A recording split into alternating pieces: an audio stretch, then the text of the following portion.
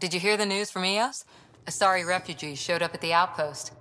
Only a few, but that's better than none. Bradley says there's an officer in charge, Hidaria. She could know where the Ark is. We'll head to Eos and see what she knows.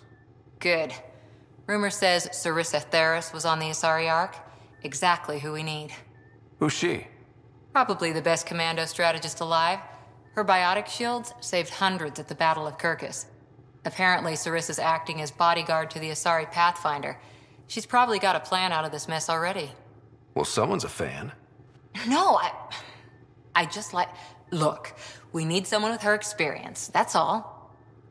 I'll take someone with that much experience. Another reason to find the Ark. When you're ready to look, we can catch Hidaria at Prodromos.